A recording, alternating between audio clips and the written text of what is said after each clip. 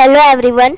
In this video we will be seeing about facial nerve motor point. Patient position is supine lying position with the anode placed over the cervical region. Therapist position standing position such that he is able to reach the machine. Cathode is placed over the muscle that you want to stimulate. This is the motor point for frontalis muscle and it is responsible for elevating eyebrows. This is the motor point for corrugator supercilii muscle and it produces vertical wrinkles of the forehead. This is the motor point for orbicularis oculi and its action is the closing of the eyes. This is the motor point for orbicularis oris. It is responsible for closing of the lips. This is the motor point for mentalis muscle. Its action is the elevation of the lower lip. This is the motor point for nasalis muscle. It is responsible for elevation and depression of the nostril. This is the motor point for buccinator muscle and it holds the cheek to the teeth.